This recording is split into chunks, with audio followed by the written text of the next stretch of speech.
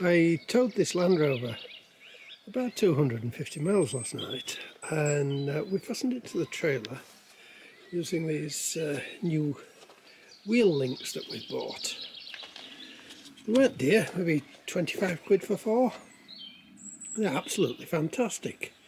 Uh, we strapped the thing on down uh, in Shrewsbury and uh, sure it was all good and tight. I drove about 10 miles and then I stopped and checked that uh, everything was tight and it was tight as a violin bow and uh, I trundled the rest of the way up here to Scotland. The thing never moved an inch. I wish I'd bought them years ago. Absolutely fantastic. So that, in my opinion, is the way to fix a vehicle to a trailer. Now they really are quite simple. The uh, strap goes over the tyre and comes back to the side of the link and the tighter you pull this side, the tighter it pulls that side.